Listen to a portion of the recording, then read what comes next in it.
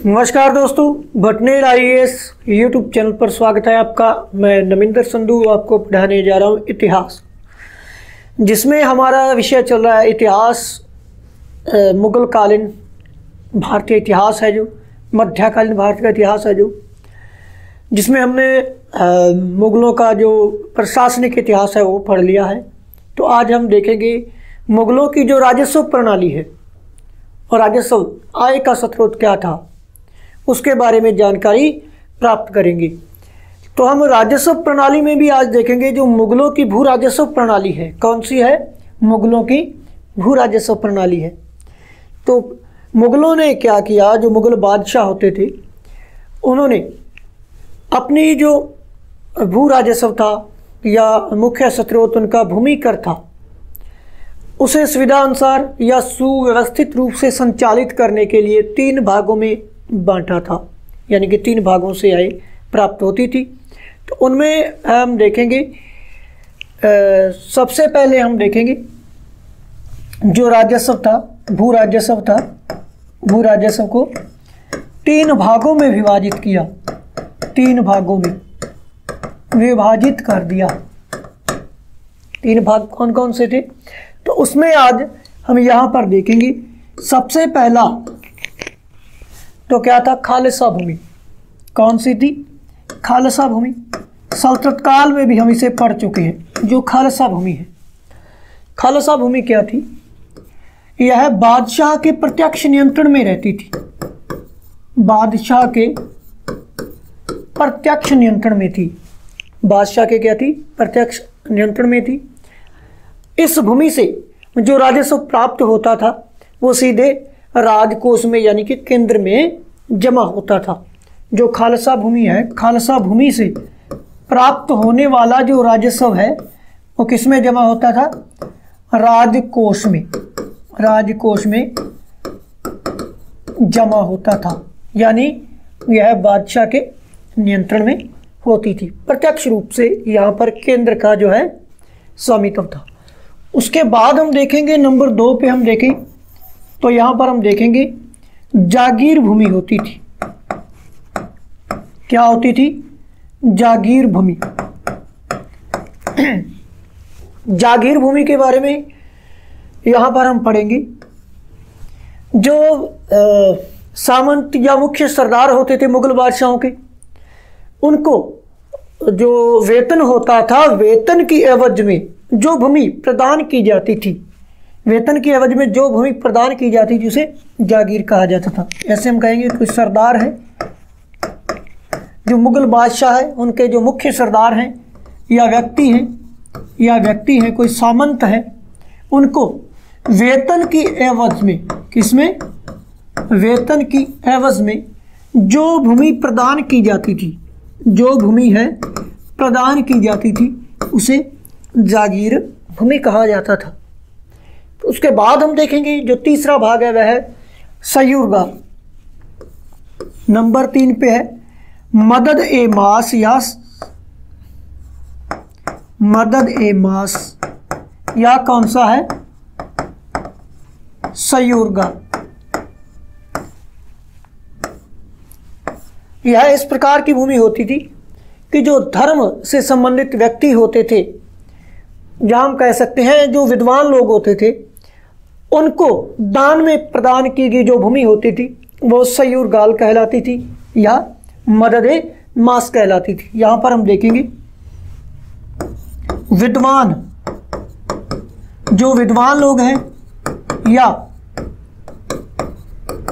धार्मिक व्यक्ति हैं, या धर्म से संबंधित कोई कार्य करते हैं, धार्मिक व्यक्ति हैं, उन्हें दान स्वरूप प्रदान की गई भूमि प्रदान की गई जो भूमि है, वो क्या कहलाती थी? मदद मास या सयुर्गाल कहलाती थी। इस प्रकार से भूमि का विभाजन रहता है। उसके बाद हम देखेंगे, मुगल बादशाहों में हम देखें तो जो अकबर थे, अकबर,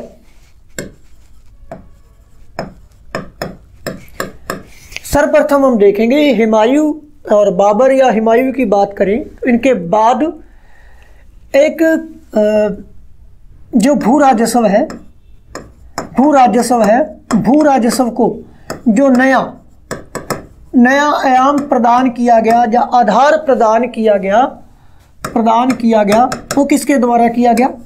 अकबर के द्वारा किया गया। अकबर का अग्रगामी भी कहा जाता है, किसे?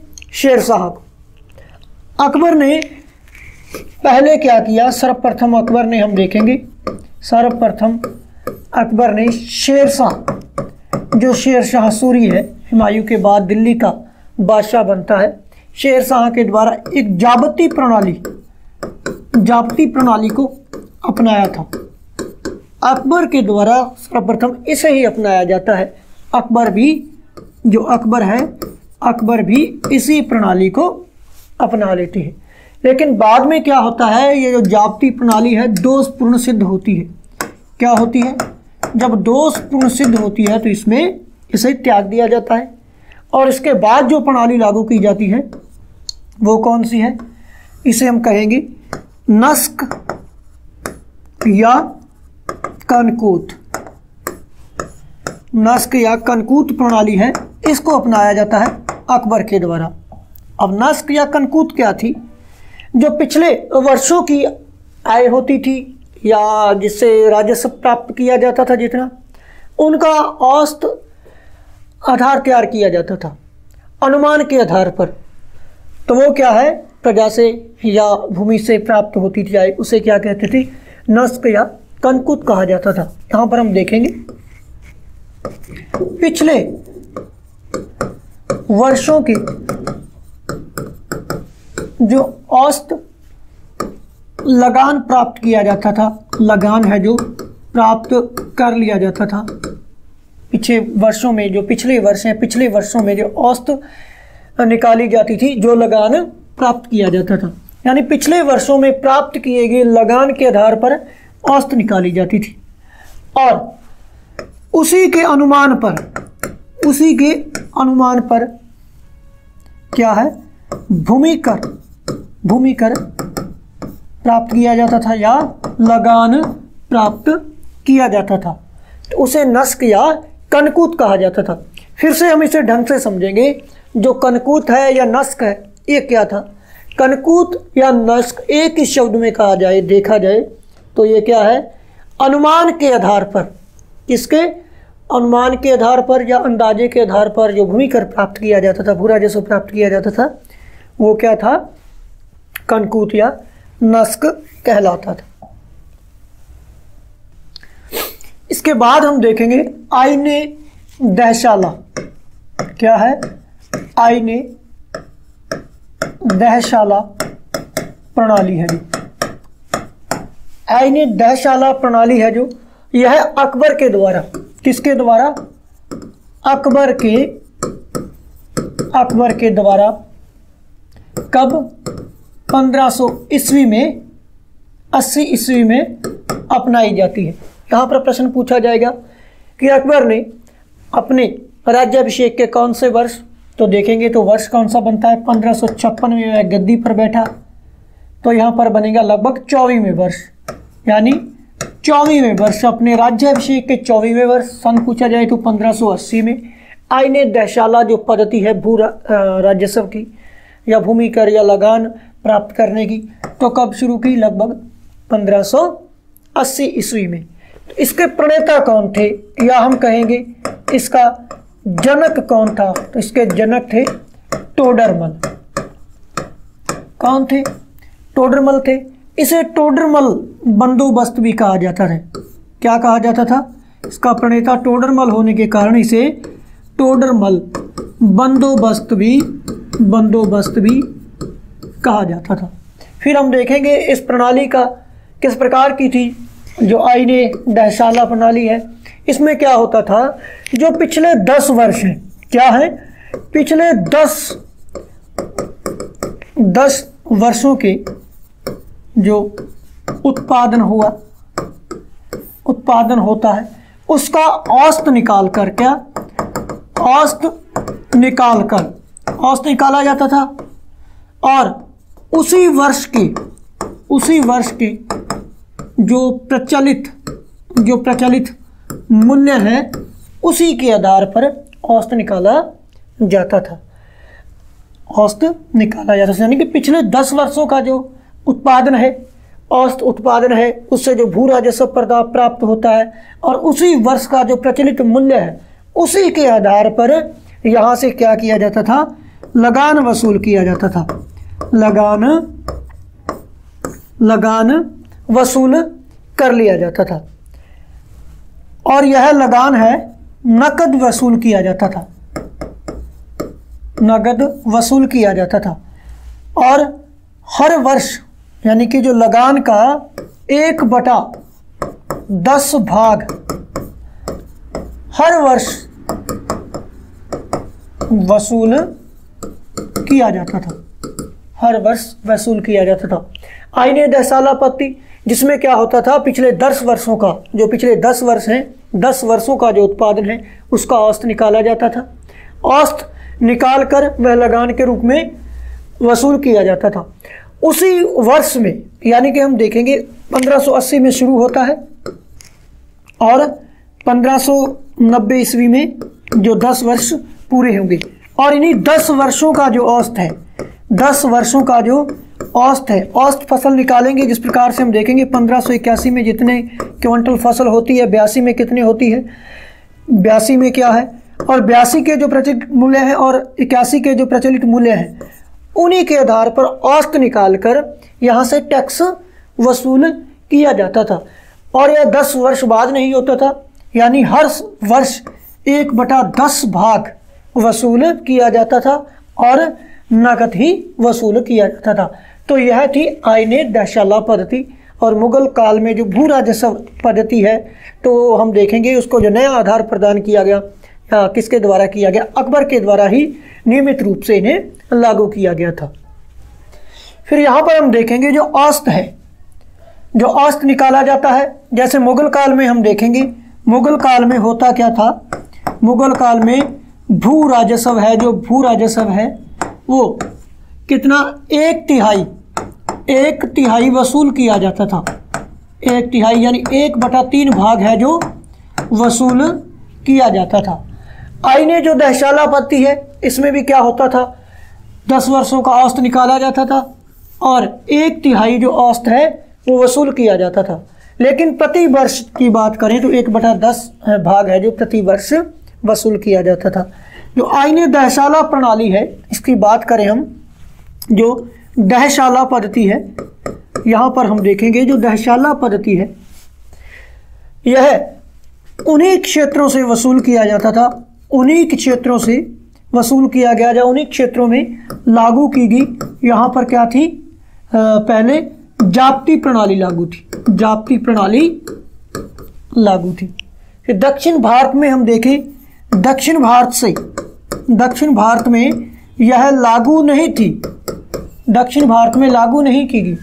लेकिन शाहजहाँ के समय, यहाँ पर हम देखेंगे जो शाहजहाँ है, मुगल बादशाह शाहजहाँ जहांगीर का पुत्र, शाहजहाँ के समय दक्षिण भारत में भी इसे लागू कर दिया जाता है। दक्षिण भारत की बात करें तो यहाँ पर मुर्शिद कुली खान, मुर्शिद कुली खान के द्वारा लागू किया गया, जिसे दक्षिण भारत का टोडर मल भी कह सकते हैं। तो इस प्रकार थी अकबर के समय की भू राजस्व प्रणाली है, जो मुगल काल की भू राजस्व प्रणाली है। फिर से हम देख लेंगे किस प्रकार था मुगल काल में जो भू राजस्व है, ध्यान से पढ़ लेंगे ताकि हमारी अच्छी तरह से याद हो जाए। हम पढ़ रहे हैं मुगल कालीन राजस्व प्रणाली। क्या पढ़ रहे हैं? राजस्व प्रणाली। तो राजस्व प्रणाली में भी हम सबसे पहले हम देखेंगे जो मुगलों की आय का मुख्य स्रोत था मुगलों की आय है, जो उसका मुख्य स्रोत क्या रहता है? भूमिका रहता है। क्योंकि भारत क्या है? कि कृषि प्रधान देश है। भारत क्या है? कृषि प्रधान देश है। और सबसे आय का जो बड़ा स्रोत है, वो क्या है? भू राजस्व है। आज भी हम देखें, जो कोरोना काल रहा, भारत में सारी अर्थव्यवस्था या दुनिया में अर्थव्यवस्था देखें तो चौपट होने के कगार पर थी। लेकिन जो कृषि का क्षेत्र है, यहाँ हमें कुछ ना कुछ देखने को मिला है। तो उस समय भी हम देखेंगे मुगल काल था, उस समय भी क्या था जो भू राजस्व ही था, जो आय का मुख्य स्रोत था। क्या था? भू राजस्व ही आय का मुख्य स्रोत था। तो यहाँ पर हम देखेंगे राजस्व प्राप्ति को जो होती थी, जो राजस्व प्राप्त करना था, उसे आसान या सुविधाजनक बनाने के लिए भूमि को तीन भागों में भी बांटा गया था। भूमि के तीन भाग हम देखेंगे, तीन प्रकार की भूमि कौन कौन सी थी उस समय? मुगल काल में तीन प्रकार की भूमि थी जिससे राजस्व आसानी से प्राप्त किया जा सके। तो यहाँ पर हम देखेंगे, तीन भागों में विभाजित किया गया, जिसमें हम देखेंगे पहला खालसा भूमि। खालसा वह क्षेत्र होता था जो बादशाह के प्रत्यक्ष नियंत्रण में होता था। बादशाह की प्रत्यक्ष नियंत्रण में होता था। और यहाँ से जो भू कर प्राप्त होता था, जो लगान प्राप्त होता था, ठीक है, जो भू राजस्व प्राप्त होता था, वो सीधा केंद्र में जमा होता था, राजकोष में जमा होता था। ये थी जो खालसा भूमि है। उसके बाद है जागीर भूमि। जागीर भूमि क्या थी? यहाँ हम देखेंगे जो मुगलों के मुख्य सरदार हैं या व्यक्ति हैं, या हम सामंत कह सकते हैं। मुगलों के जो मुख्य सरदार व्यक्ति या सामंत हैं, उनको प्रदान की गई भूमि होती थी। उन्हें यह भूमि वेतन के बदले प्रदान की जाती थी। कैसे की जाती थी? जो वेतन होता था, वेतन के बदले में जो भूमि प्रदान की जाती थी, वह भूमि जागीर भूमि कहलाती थी। फिर है मदद मास, या सयुरगल मदद मास और सयुरगल क्या है? यह धार्मिक व्यक्तियों को या जो विद्वान लोग होते थे, उन्हें प्रदान की जाती थी। उन्हें प्रदान की जाती थी। धार्मिक व्यक्ति या विद्वान लोग हैं जो उन्हें प्रदान की गई जो भूमि थी सहयोगदाल कहलाती थी या मददी मास कहलाती थी। फिर हम देखेंगे जो मुगल बादशाह अकबर है, अकबर के ही समय नया आयाम या नया आधार प्रदान किया गया मुगल कालीन भू राजस्व प्रणाली को। क्योंकि बाबर हिमायू के पास इतना समय नहीं था कि वो ऐसे काम कर सकते। अकबर के पास काफ़ी समय था।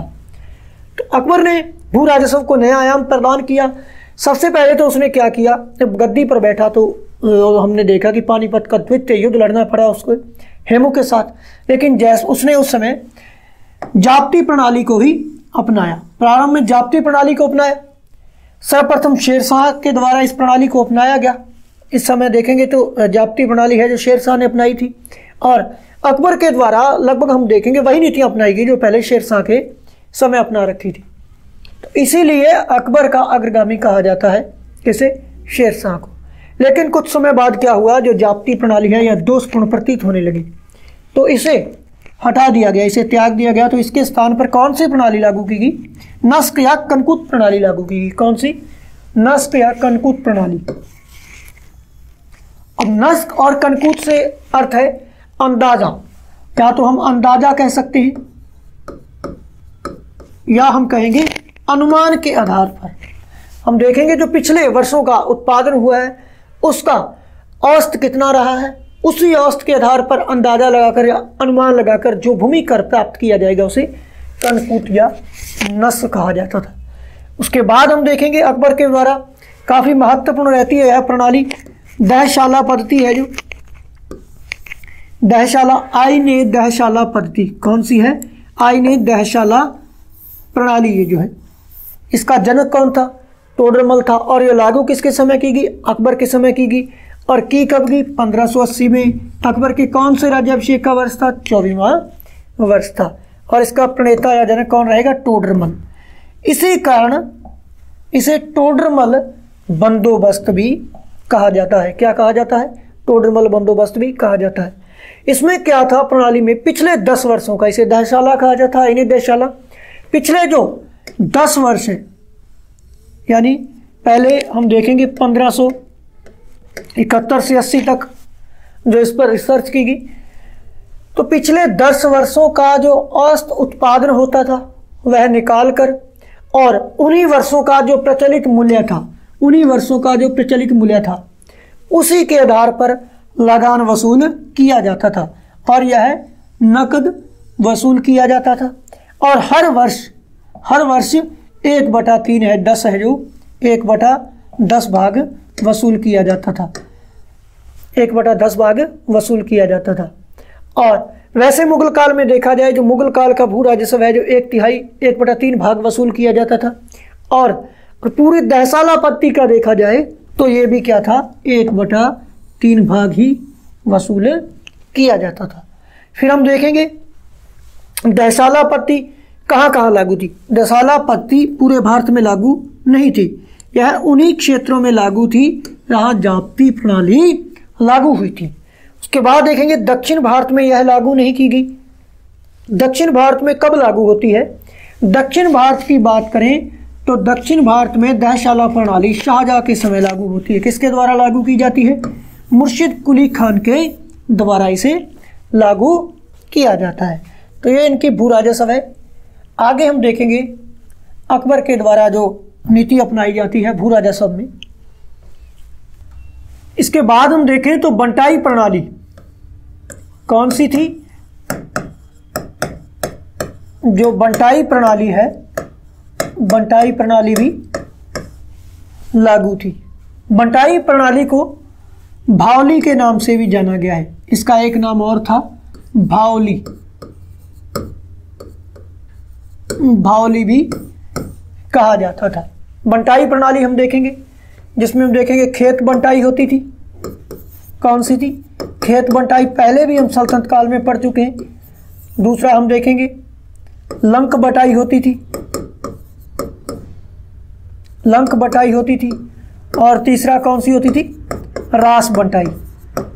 रास बंटाई, यह तीन प्रकार की होती थी। फिर अकबर के समय भूमि को तीन भागों में बांटा गया। अकबर के समय, अकबर के समय क्या किया गया? अकबर के समय भूमि को तीन भागों में विभाजित किया गया। कितने भागों में? तीन भाग, चार भागों में सॉरी चार भागों में विभाजित किया गया। चार भागों में विभाजित किया गया। पहले हम देखेंगे पहला भाग पोलच पोलच फिर है परती। फिर इसके बाद हम देखेंगे चाचर।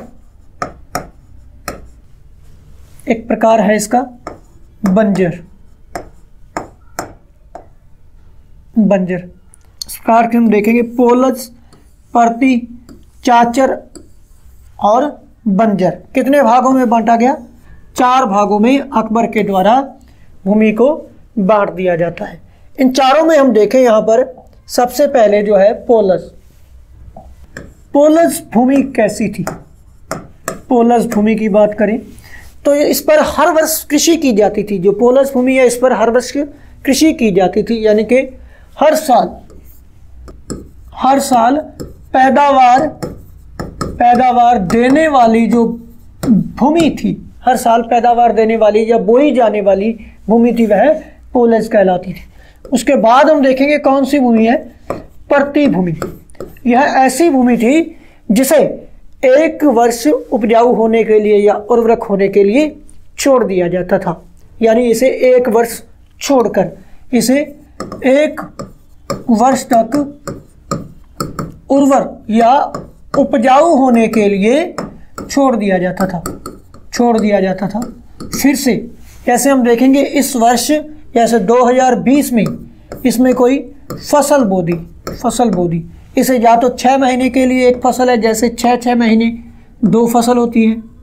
इसमें इस फ़सल को उगा लिया, बो लिया, काट लिया, लेकिन ये फ़सल नहीं ली और अगली फ़सल ले ली। इस प्रकार की यह भूमि होती थी। या 2021 में से बोहा जाएगा।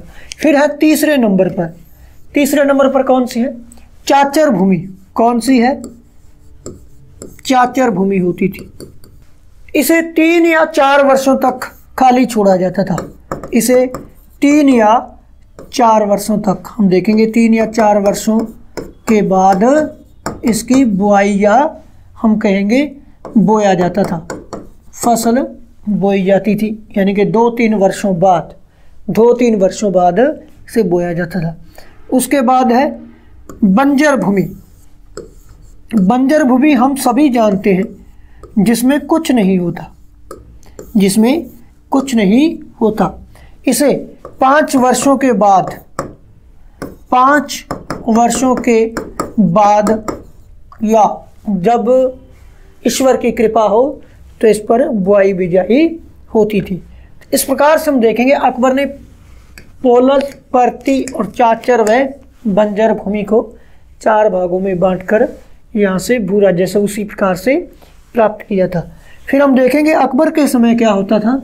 भूमि की पैमाइश की बात करें। भूमि की पैमाइश होती थी। भूमि की पैमाइश होती थी। भूमि की पैमाइश जो है पहले, अकबर से पहले कौन सा था? सिकंदरी गज काम में लिया जाता था। कौन सा? सिकंदरी गज है जो काम में लिया जाता था। लेकिन अकबर के द्वारा, अकबर के द्वारा इसके स्थान पर इलाही गज, कौन सा? इलाही गज है जो अपनाया जाता है, अपनाया जाता है।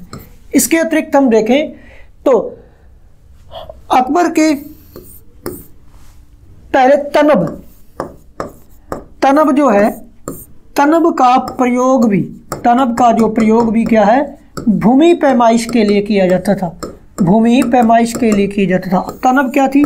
तनब एक तंबू की रस्सी होती थी। तंबू की रस्सी होती थी। लेकिन अकबर के द्वारा तनब के स्थान पर किसका प्रयोग किया गया? जरीब का प्रयोग किया गया। किसका? जरीब का प्रयोग किया गया। जरीब क्या होता था? एक बाँस का डंडा होता था। बाँस का डंडा होता था। इस बाँस के डंडे में लोहे की कड़ियाँ लगी होती थी। लोहे की कड़ियाँ लगी लगी होती थी। जो भूमि पैमाइश के काम आता था, भूमि की पैमाइश की जाती थी। पैमाइश की जाती थी इस जरीब से। और जरीब का प्रयोग करने वाला प्रथम बादशाह प्रथम बादशाह या शासक हम कहें तो वो कौन था? अकबर ही अकबर ही रहता है जरीब का प्रयोग करने वाला। और मुगलों में हमने पहले भी देखा जो भू राजस्व की दर है, हम देखेंगे। जो भू राजस्व की दर है भू राजस्व की दर भू राजस्व की जो दर है, वो कितनी थी? एक बटा तीन भाग है जो वह वसूल किया जाता था कर के रूप में या टैक्स के रूप में। कितना?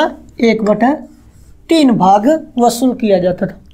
लेकिन हम देखेंगे जो शाहजहाँ है, शाहजहाँ के समय हम देखें तो एक बटा दो भाग भी वसूल किया जाने लगा। कितना? एक बटा दो भाग भी शाहजहाँ के समय वसूल किया जाने लगा। शाहजहाँ के समय की एक और विशेषता है कि शाहजहाँ के समय ठेकेदारी ठेकेदारी प्रथा जो है, किसके समय प्रचलित हुई? शाहजहाँ के समय प्रचलित हुई थी। इसके बाद हम देखेंगे जो मुगल कालीन अन्य भू राजस्व के स्त्रोत हैं। सॉरी राजस्व के अन्य स्त्रोत कौन से?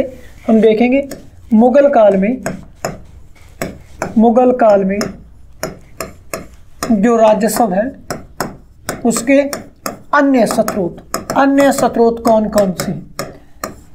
अन्य स्त्रोत में हम देखेंगे मुगल काल में जजिया है, जक़ात है खुम्मस है, इस प्रकार के जो कर हैं, तमगा है, इस प्रकार के कर हैं जो वसूल किए जाते थे।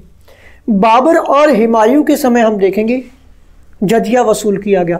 अब जजिया की शुरुआत देखें। जजिया मोहम्मद बिन कासिम, कब? मोहम्मद बिन कासिम। अरब आक्रमणकारी था, मोहम्मद बिन कासिम।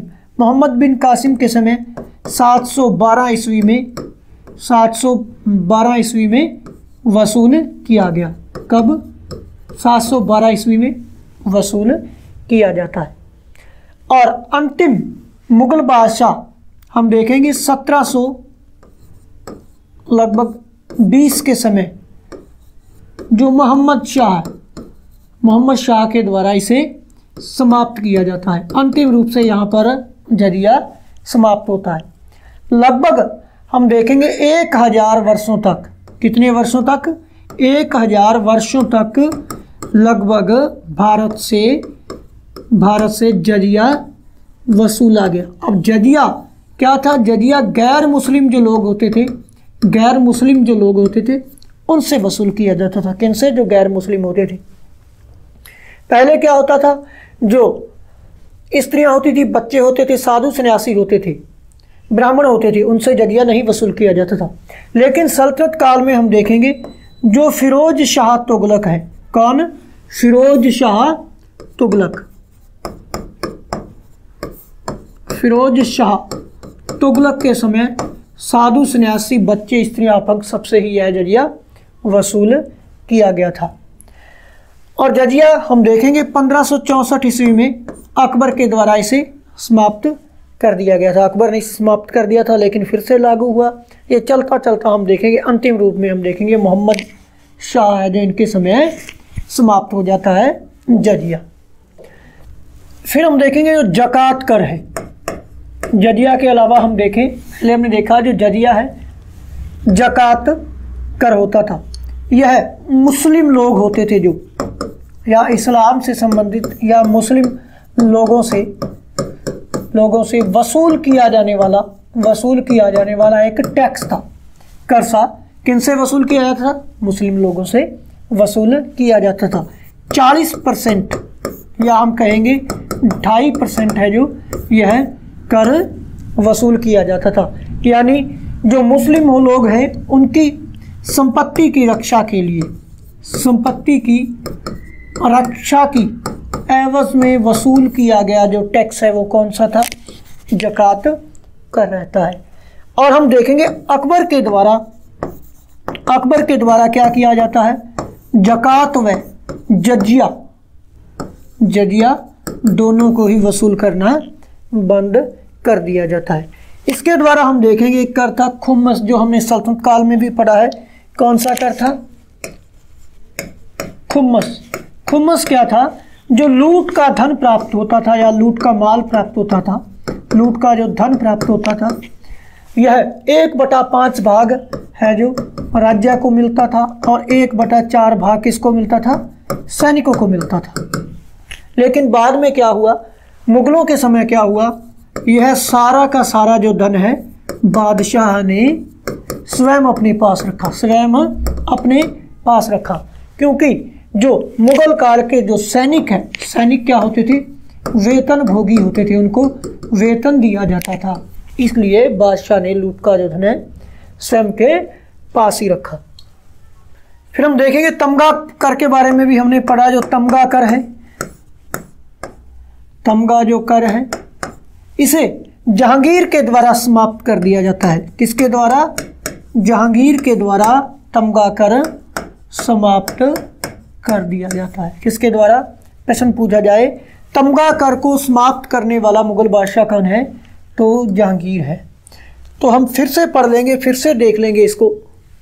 रिपीट कर लेंगे हम। तो हमने क्या देखा? अकबर के द्वारा क्या किया जाता है? भू राजस्व का निर्धारण किया जाता है। भू राजस्व के निर्धारण के लिए भूमि को चार भागों में बांट दिया अकबर ने। कितने भागों में बांट दिया चार भागों में। कौन कौन से हैं? एक तो है पोलज, दूसरा है प्रति भूमि और तीसरा है चाचर भूमि और पांचवा है चौथा है बंजर भूमि कितने प्रकार की भूमि है? भू राजस्व के निर्धारण के लिए अकबर के समय चार। पहली कौन सी है? पोलस भूमि, जिसमें हर साल बोई जाती है जो भूमि, हर साल जो पैदावार देती है, वो कौन सी भूमि है? पोलस भूमि। उसके बाद है प्रति भूमि प्रति भूमि जिसे एक वर्ष के लिए बिना बोए छोड़ दिया जाता है ताकि वह उपजाऊ हो जाए या उर्वर हो जाए।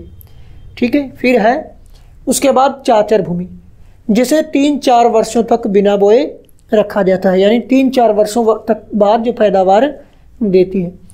उसके बाद हम देखें तो बंजर भूमि आती है। चाचर भूमि के बाद है बंजर भूमि। बंजर भूमि पर पाँच वर्षों के बाद, लगभग चार पाँच वर्षों बाद जो भूमि है बोई जाए, जिसकी बिजाई हो, जिससे पैदावार प्राप्त हो। यानी कि पाँच छः वर्ष तक जो भूमि कुछ नहीं देती वो बंजर ही कहलाएगी। कौन कौन सी है? पोलस प्रति चाचर और बंजर भूमि फिर हम देखेंगे भूमि की पैमाइश। क्या देखेंगे? भूमि की जो पैमाइश है। भूमि की पैमाइश में हम देखेंगे अकबर से पहले हम देखेंगे, सिकंदरी गज है जो काम में लिया जाता था। कौन सा था? सिकंदरी गज लेकिन अकबर ने किसका निर्माण शुरू किया या किसको अपनाया? इलाही गज को, भूमि की पैमाइश के लिए। शुरू किया जाता है। और एक तनब, जो तनब है, एक तंबू की रस्सी होती थी, इसका प्रयोग भी भूमि की पैमाइश के लिए होता था। लेकिन तनब की जगह पर जरीब का प्रयोग भी अकबर के ही द्वारा किया जाता है। जरीब का प्रयोग करने वाला अकबर प्रथम, मुगल बादशाह प्रथम शासक था, जिसने जरीब का प्रयोग किया भूमि की पैमाइश के लिए। और जरीब एक बाँस के डंडे पर लोहे की कड़ियाँ लगी होती थी। तो ये थी, जरीब थी भूमि की पैमाइश के लिए। फिर उसके बाद है, जो भू राजस्व दर है मुगल काल में, वो एक बटा तीन भाग रहती है, लेकिन शाहजहाँ के काल में क्या हो जाती है, एक बटा दो भाग, यानी कि फिफ्टी परसेंट भी वसूल की जाती है। और शाहजहाँ के समय एक प्रथा सामने आती है, जो ठेकेदारी प्रथा है, वह भी शाहजहाँ के समय ही हमें देखने को मिलती है। शाहजहाँ के समय एक ठगी प्रथा है जो, एक ठगी प्रथा भी प्रारंभ होती है। प्रथा कहें ना कि ठग जो है यह शाहजहाँ के समय ही शुरू होती है, जो विलियम बेंटिक के काल में ठगों पर रोक लगाई जाती है। फिर हम देखेंगे जो मुगल काल है। मुगल काल में जो राजस्व के अन्य स्त्रोत हैं, जो राजस्व भू राजस्व था, उसके बाद हम देखेंगे अन्य स्रोत हैं। अन्य स्त्रोत में हम देखेंगे जजिया है, जक़ात है, खुमस है, और भी कई प्रकार के जो टैक्स हैं, वसूल किए जाते थे। तो हम देखेंगे सबसे पहले जजिया कर जजिया कर है जो मोहम्मद बिन जो कासिम है 712 में अरब आक्रमण करी है, सिंध पर आक्रमण करता है, ये करता है, और यहाँ से जजिया वसूल किया जाता है। लेकिन सोलह सौ पंद्रह सौ चौंसठ में हम देखते हैं, अकबर के द्वारा इसे समाप्त कर दिया जाता है। 1713 में त्रुकसिर के द्वारा समाप्त कर दिया जाता है। लेकिन 712 के बाद 1720 ईस्वी का जो समय है, सत्रह सौ में शुरू होता है, सत्रह सौ बारह में यह बीस में समाप्त हो जाता है।